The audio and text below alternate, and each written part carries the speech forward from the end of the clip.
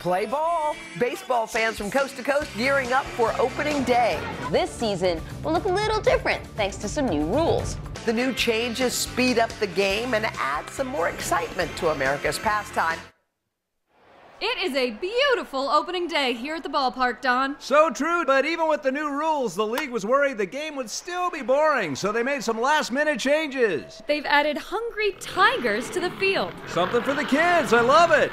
Also new, the pitcher is a vengeful demon child who lives in your TV. Fun! The Kiss Cam is now X rated, and let me tell you, Don, they're really doing it. And of course, the seventh inning stretch is now the seventh inning purge, where the fans fight to the death.